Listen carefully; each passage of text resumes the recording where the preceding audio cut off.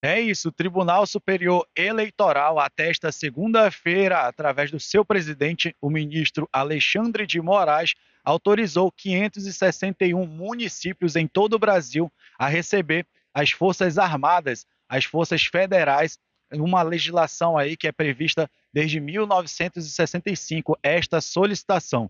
No Amazonas, até o momento, foram autorizados esse envio dessas tropas apenas 26 cidades divididas em 23 zonas eleitorais. O maior índice no país é no estado do Rio de Janeiro, que vai receber 167 municípios, essas forças federais. Lembrando que para você solicitar é através dos TREs, né, que fazem essa solicitação para o Tribunal Superior Eleitoral, explicando o motivo e o porquê tem a necessidade das forças federais no município. Volto com vocês no estúdio.